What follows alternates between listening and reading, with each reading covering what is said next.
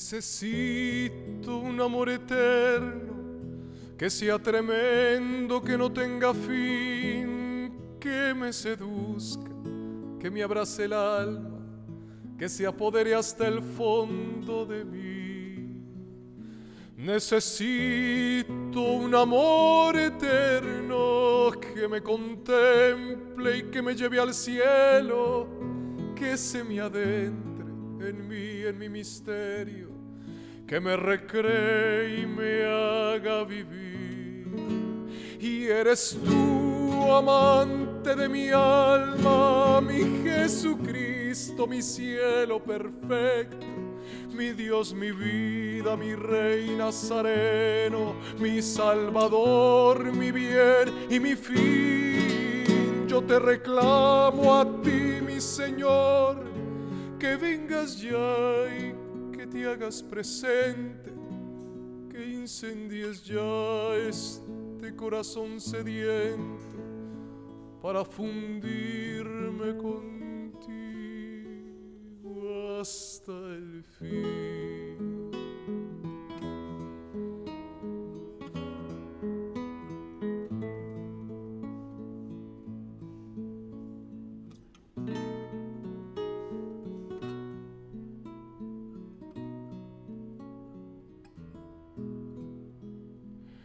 Necesito ver tu mirada, tus ojos dulces, tu divina ausencia, tus brazos grandes, tu carne perfecta, tu vino fuerte, tu amor, tu vivir. Calma estas ganas que me muero vivo, ven en mi ayuda, mi Dios, mi Señor Rey de mi gloria, mi paraíso eterno. Te necesito, sálvame Señor. Y eres tú, amante de mi alma, mi Jesucristo, mi cielo perfecto. Mi Dios, mi vida, mi Rey Nazareno, mi Salvador, mi bien y mi fin. Calma estas ganas que me muero vivo Ven en mi ayuda, mi Dios, mi Señor, Rey de mi gloria, mi paraíso eterno. Te necesito, sálvame, Señor.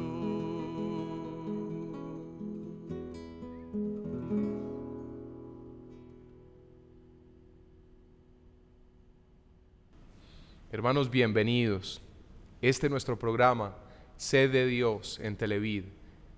Yo sé que tú vas a encontrarte con Dios cada día más, cada día más, y vas a aprovechar este programa como lo que es.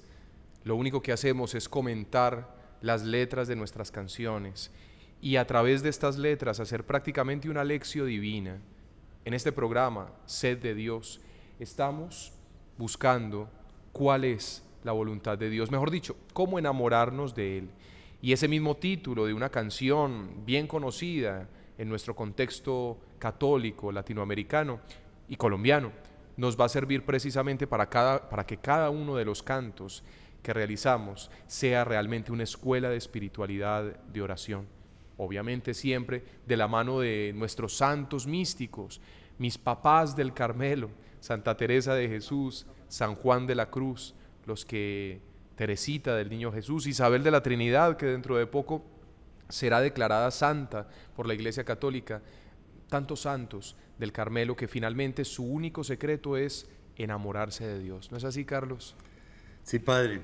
Bienvenidos, bienvenidos todos una vez más. Hoy comenzaremos con una nueva canción que se llama Necesito un amor eterno. Necesito un amor eterno que sea tremendo, que no tenga fin, que me seduzca, que me abrace el alma, que se apodere hasta el fondo de mí.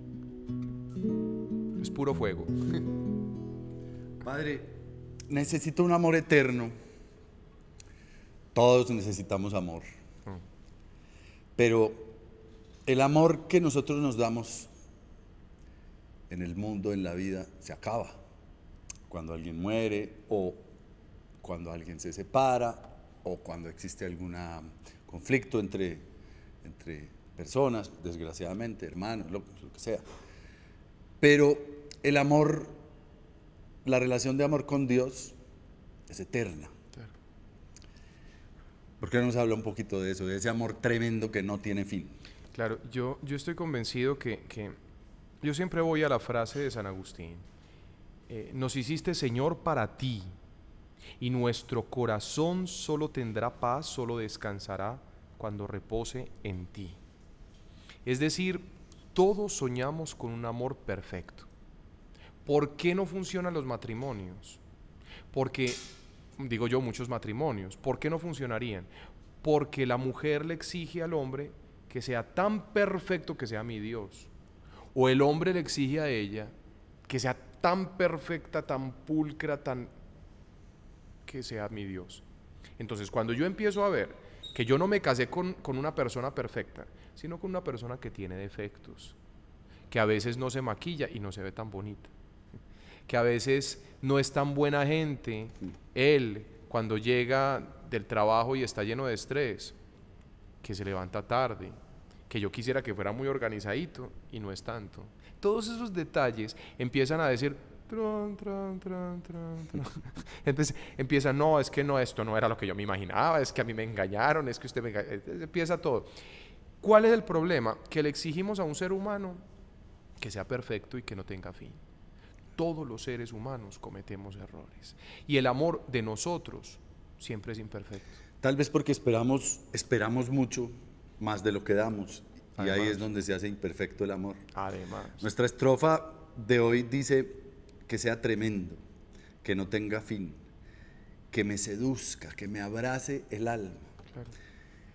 Ese abrace el alma, ese, ese gesto de cariño y de amor protector que significa un abrazo, el alma que anhela ese abrazo constante del Padre,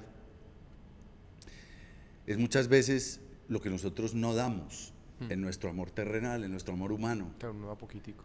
Sí, pues pasa muchas veces. Exacto, ahí es donde, donde el Evangelio nos dice que, mejor dicho, como la teología de los boxeadores, ¿no? Es mejor dar que recibir. Digamos que uno dando, dando amor es como más recibe, ¿verdad? Claro, claro. Claro, el secreto estaría en darse sin medida. Es más, en la medida en que vos te entregues sin medida, estás haciendo que un motor que llevas por dentro funcione y funcione a la perfección. Ese motor se llama Espíritu de Dios. Es decir, el Espíritu del resucitado lo que hace en vos y en todos los seres humanos, en todos ustedes, lo que hace el Espíritu Santo es empujarlo a uno por dentro, moverlo, jalarlo, sacarlo del egoísmo y hacer que, que tú salgas a entregarte a los demás. Y mientras más te entregas a los demás, mientras más amas, mientras más renuncias a tus intereses, a tu comodidad, a tu placer, a tu prestigio, por darle vida al otro, por ayudar al otro, por servir al otro, porque el otro tenga plenitud y felicidad, lo que a vos te está pasando es que desde adentro el que te está empujando, no sos vos, no es uno que, ay, es que yo soy muy amoroso, no, es que yo soy perfecto, no. El que está haciendo una revolución por dentro y lanzándote a, servir y amar es Jesucristo. Eso es muy interesante. Cuando, por ejemplo, la iglesia habla de esas experiencias, experiencias inconscientes de Dios, pero que están realmente actuando, y es la semilla del verbo actuando en seres humanos, incluso en los que no creen en Dios.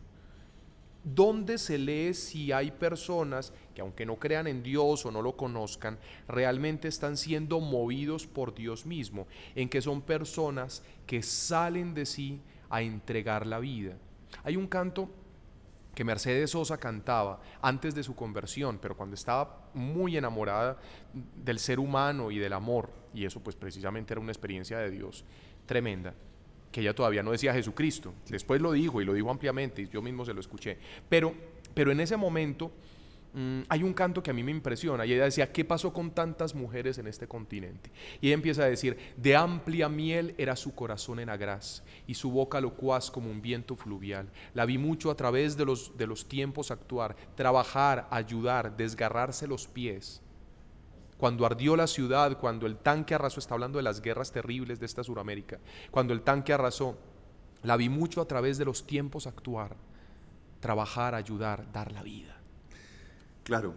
Eso, esos seres humanos que han dado la vida, que se, se dejan lanzar y que ya no piensan en ellos, sino que aman, aman, aman, sin darse cuenta, lo que hay ahí adentro es un Dios creador moviendo ese corazón, transformando, lanzando, volviendo maravillas. Por eso es que incluso uno podría decir que en todas las culturas de la tierra, en toda la historia de la humanidad, en los indígenas que nunca supieron que Dios existía, en, en los musulmanes que ahora estamos eh, muertos de susto con todo lo que ha habido, pero en cada cultura ha habido seres humanos que se han dejado lanzar, lanzar por Cristo desde adentro a dar la vida.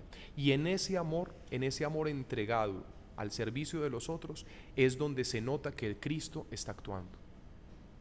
Qué bonito eso, Padre. Padre, esa diferencia entre amor fraterno, filial y amor pasional que tiende hacia el egoísmo es enorme, porque el verdadero amor es el amor que protege, ¿no? Claro. Que busca como ese amor de padre que hace lo que sea por sus hijos, así como hace Dios con nosotros. Claro, pero no, no hay que tenerle tampoco miedo, miedo al eros. Eh, El eros hay que entenderlo como, como la pasión de la ternura de darse. Es así como yo la entiendo más.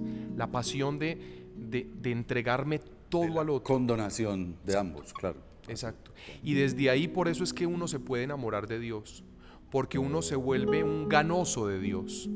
Así dice San Juan de la Cruz, el alma, está ganosa, ganosa de darse.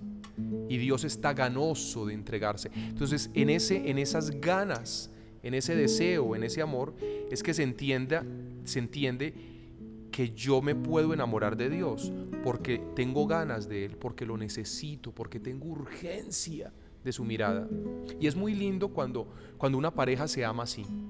Esa, esas ganas de, amo- de amar al otro y de entregarme al otro y de hacerme una sola carne con Él, eso viene de Dios también. Porque finalmente cuando uno ama a Dios, termino amándolo así. Como cuando uno ama a una pareja y uno quiere estarse volviendo una sola cosa con ella. Eso es muy lindo. Qué bonito. Vamos a comerciales, hermanos.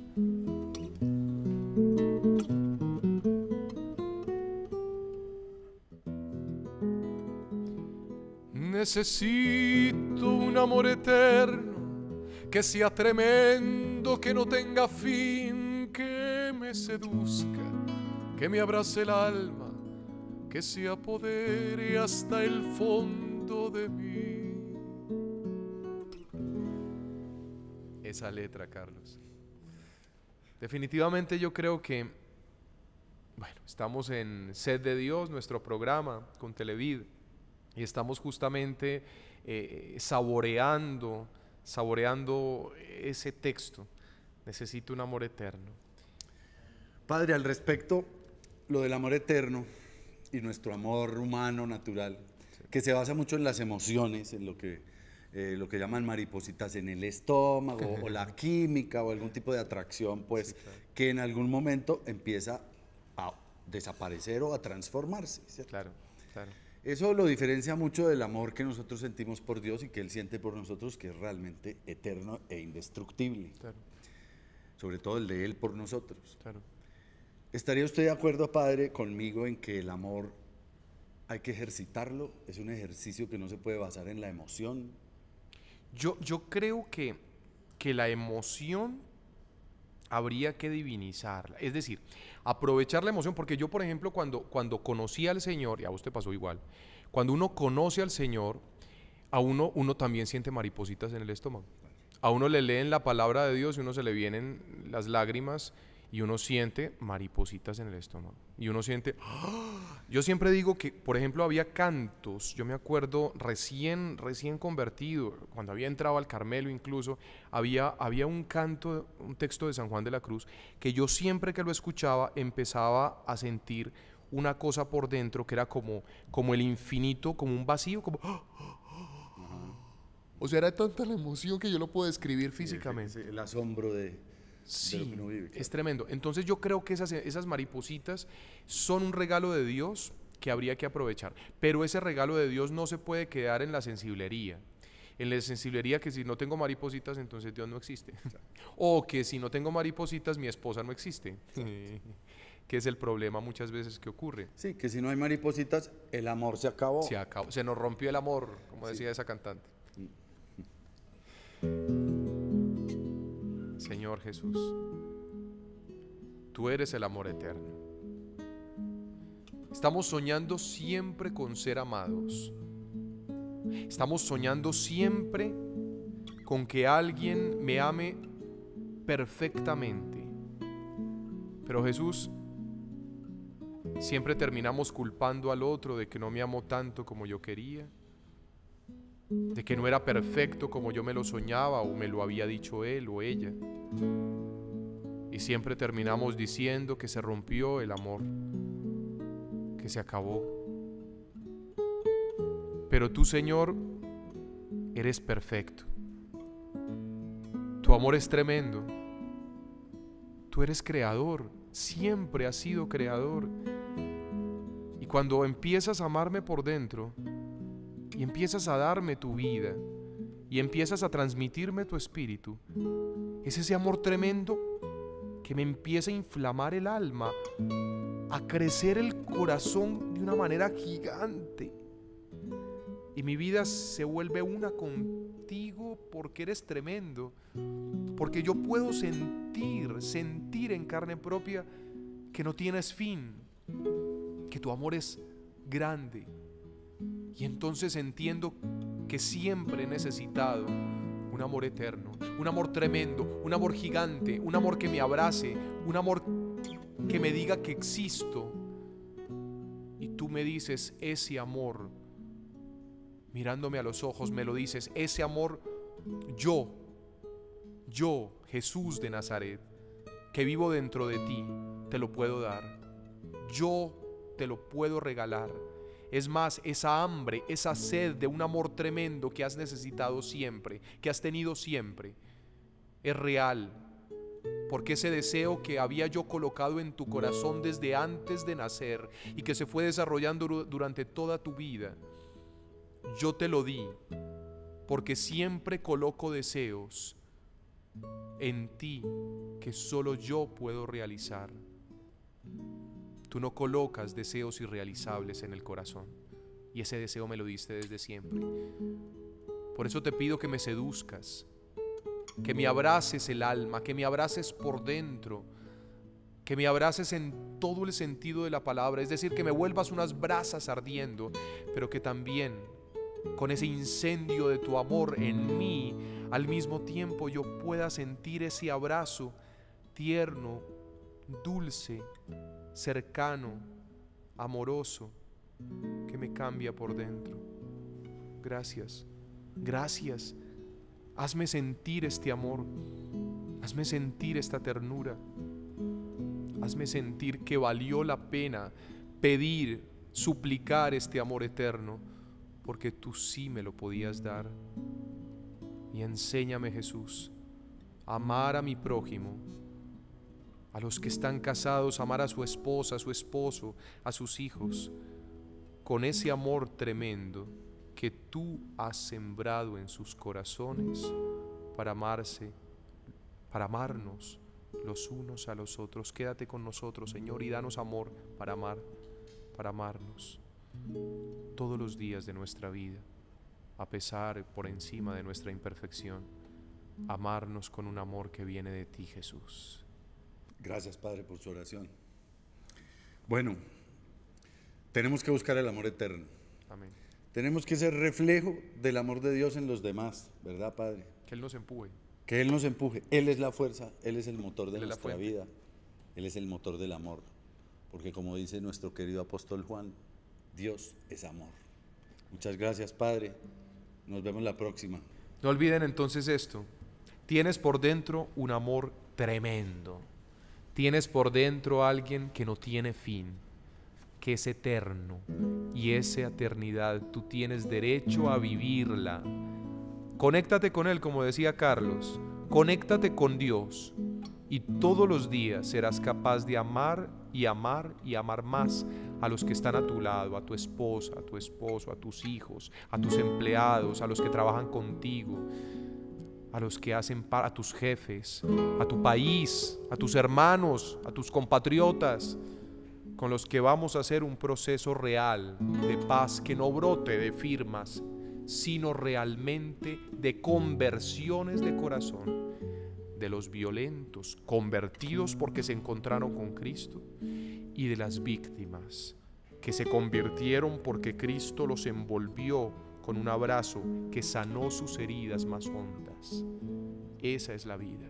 Dios los bendiga, convirtamos, llenemos el alma de Dios y ahí está todo el secreto para amar hasta el extremo. Dios los bendiga. Un abrazo.